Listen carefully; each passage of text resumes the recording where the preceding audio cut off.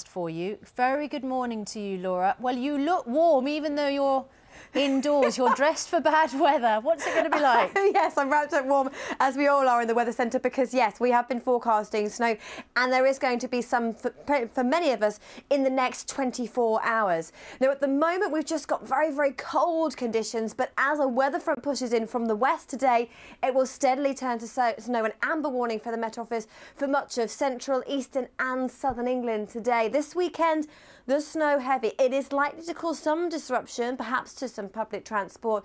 But further west, it will fall as rain. Now, at the moment, a bitterly cold start through central and eastern areas. From the west, though, we start to see rain pushing into Northern Ireland, Wales, and the southwest of England. As it does so, it will steadily turn to snow. For Northern Ireland, though, milder this afternoon, turning brighter.